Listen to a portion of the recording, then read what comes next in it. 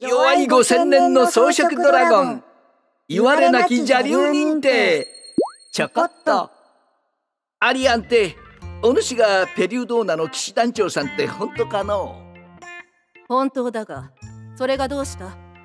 シッシッ玲子が起きてしまう。すまん。え？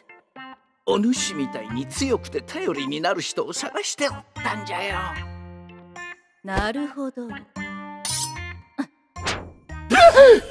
強者を探していた。とつまり私を始末しに来たというわけだな。邪竜レーベンディアいやいやいやなんでそうなるの？戦うつもりならわざわざお主から若返りの薬をもらって小さくなったり。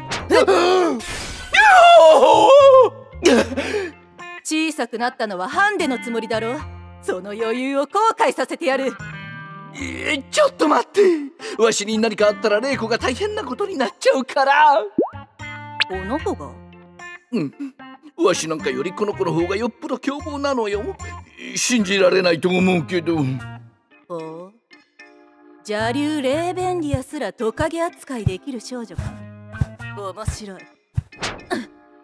ぜひ手合わせしてみたい。おおおおねね寝てる子に切りかかるなんて絶対ダメじゃえてやーぐや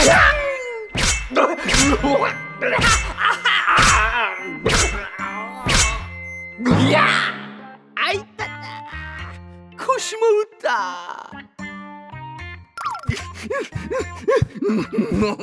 レイコここは危険じゃ。逃げよう。パパママ。ゆー。グレンやグルジなるほど本当に弱いのだな見てないで助けて